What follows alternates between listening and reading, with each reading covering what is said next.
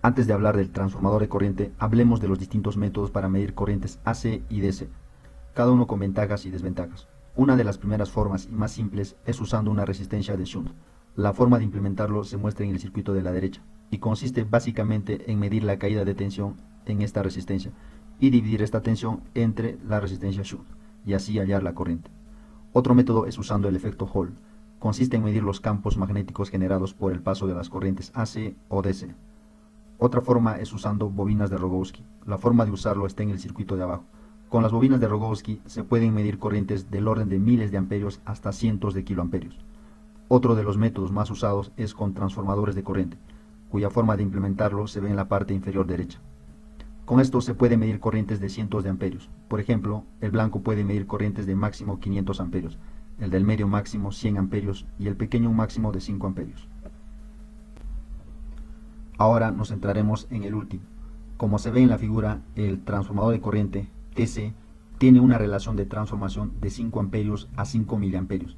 Esto quiere decir que si la corriente que atraviesa el transformador de corriente es de 5 amperios, este inducirá otra corriente de 5 miliamperios entre sus terminales. A la primera corriente la llamaremos corriente en el primario y a la segunda corriente en el secundario. Otro ejemplo, si la corriente en el primario es de 1 amperio, la corriente en el secundario será de 1 miliamperio. Como se puede ver, la relación es de 1 a 1000. El circuito a usar es el siguiente. Si la corriente en el primario es alterna, esta también inducirá una corriente alterna en el secundario, y esta al circular por la resistencia producirá una caída de tensión también alterna. Al ser alterna esta corriente secundaria tiene su pico máximo y un pico mínimo. En este caso ponemos como ejemplo 5 mA como pico máximo y mínimo. Entonces la tensión en el resistor tendrá su pico máximo en 5 mA por 220 ohmios, que da 1.1 voltios, y un mínimo de menos 5 mA por 220 ohmios, que da menos 1.1 voltios pero esta tensión no puede ser procesada por ningún ADC, ya que el ADC solo procesa señales positivas. Por tanto, tenemos que sumarle un valor de tensión continua, es decir, un offset. Eso lo hacemos con el siguiente circuito. Aquí se ve que hacemos un divisor de tensión para obtener 1.65 voltios, y este será el offset a sumarle a la señal de arriba. Es decir, su nueva referencia ya no será 0 voltios, sino 1.65 voltios, y así se obtiene la forma de onda de la derecha. Esta nueva señal está entre 0.55 voltios y 2.75 voltios, siendo completamente positiva y lista para ser procesada por el ADC. El ADC a usar será el del ARM o Blue Pill, que ya viene integrado y que se alimenta a 3.3 voltios. Este ADC es de 12 bits y va de 0 a 4095. La resolución la obtenemos al dividir la alimentación, o sea 3.3 voltios, entre 4095 obteniendo una resolución de 805 microvoltios. Es decir, hay un incremento de 1 en el ADC por cada incremento de 805 microvoltios en la señal. Ahora analicemos la señal. Esta tiene una frecuencia de 60 Hz y un periodo de 16.66 milisegundos. Por Nyquist, la frecuencia de muestreo de una señal debe ser mayor al doble de la frecuencia de la señal. Para este caso, y aprovechando las capacidades del ARM, usaremos una frecuencia de muestreo de 10 kHz, es decir, haremos muestras cada 100 microsegundos, y muestrearemos tres periodos completos de la señal, que dura aproximadamente 50 milisegundos. Y el número de muestras se obtiene al dividir los 50 milisegundos que duran los tres periodos entre 100 microsegundos, obteniendo 500 muestras. Por tanto, creamos un vector para almacenar las 500 muestras. Se ve que el pico máximo de 2.75 voltios en continua es equivalente a 3412 en binario, y el pico mínimo de 0.55 voltios es equivalente a 682 en binario, y el offset de 1.65 es 2047 en binario. Esto lo obtenemos fácilmente por regla de 3 simple.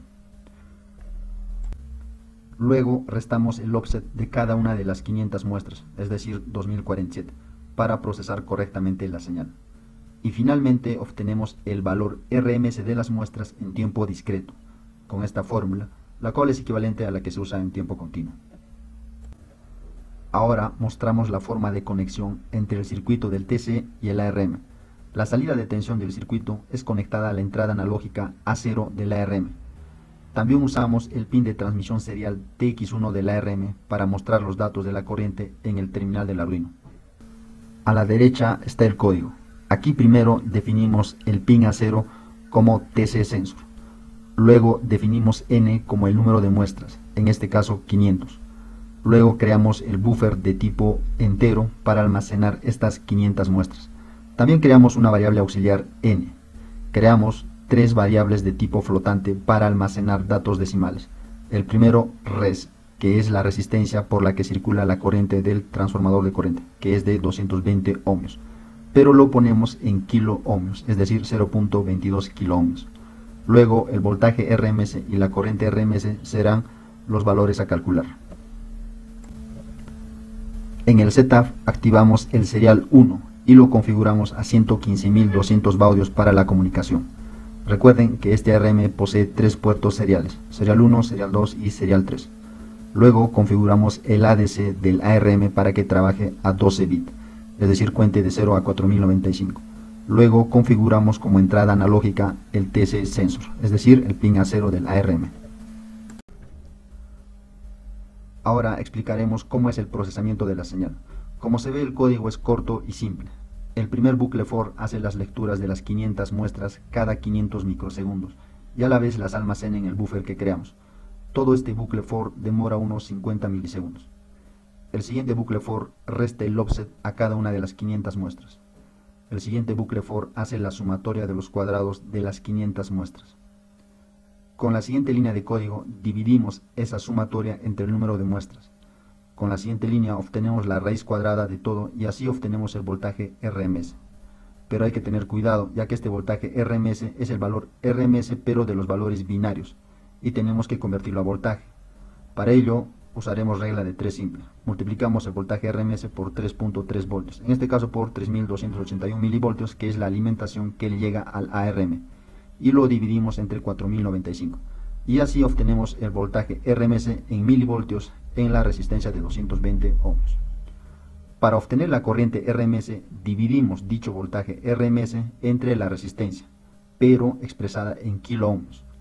Por tanto, la corriente obtenida está en microamperios y esta es la corriente en el secundario.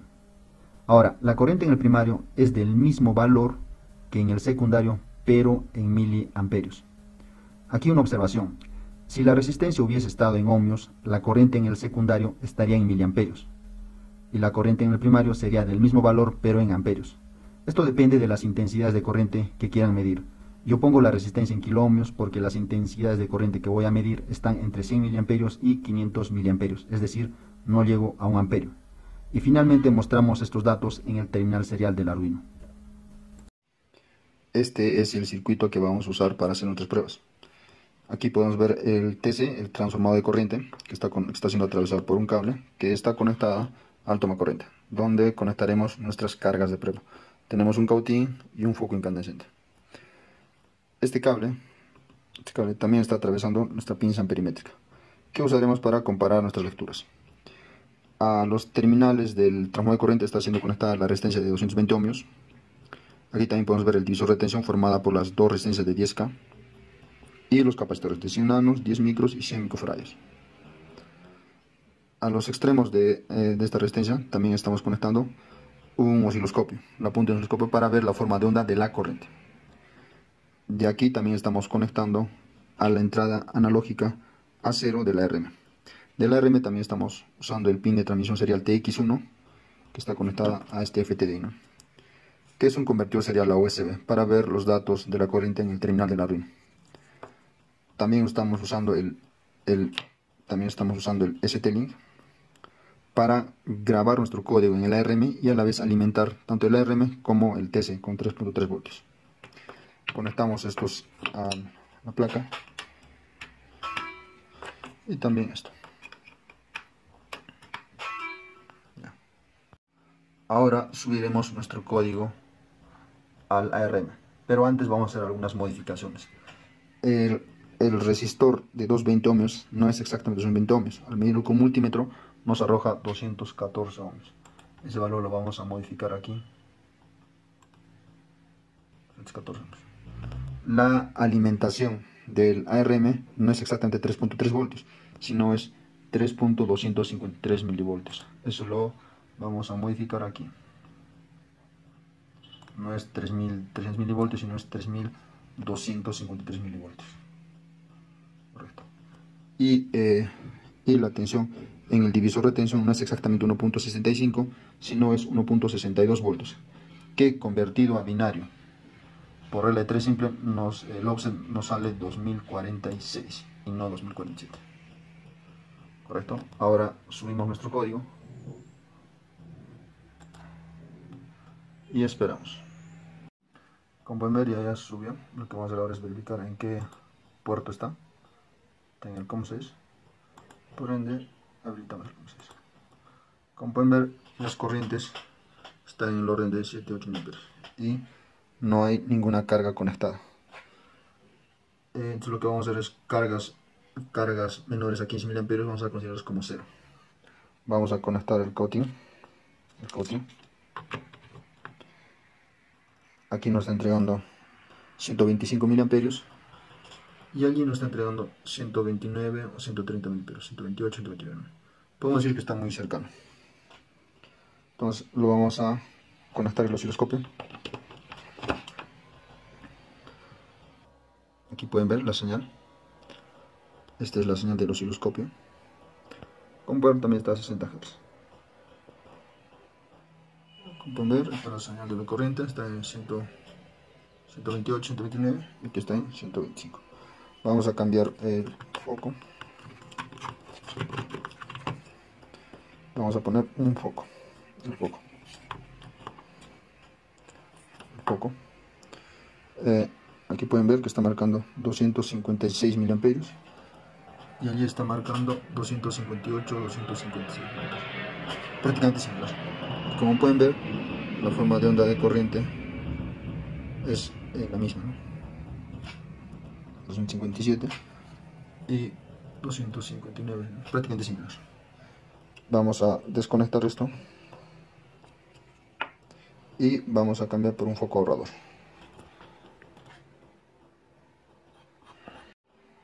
Como pueden ver ahora vamos a conectar el foco. Como pueden ver está en 200 miliamperios y aquí está en 221 es prácticamente similar ¿eh? Ahora la forma de onda de corriente es esta. Como pueden ver eh, casi todas las caras no lineales presentan esta forma de onda de corriente ya que son caras no lineales. Eh, vamos a hacer una amplitud. Vamos a ver eh, la toma de Fourier como pueden ver ahí está. Está por división de cada 100 Hz vamos a ponerlo a 60 Hz ahí pueden ver eh, este cuadrito es 50 Hz está a 60 Hz es el primer armónico de la frecuencia fundamental. Luego está 50, 100, 150, 200, 180 este es el tercer armónico Luego está este es 200, 250, 300. Este es el quinto armónico.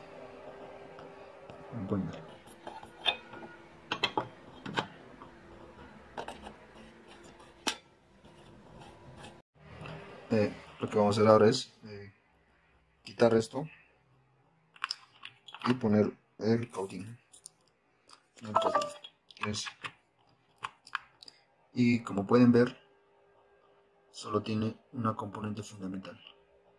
En, si la división es de 50 Hz, está en 60 Hz. Y no hay armónicos, ya que la onda es similar. Ahora vamos a sumar todas las cargas. Y obtenemos esta forma de onda, más distorsionada. Como pueden ver está en orden de 300 mA y está marcado 300 A continuación mencionaré algunas mejoras que se pueden hacer en el código y en el circuito.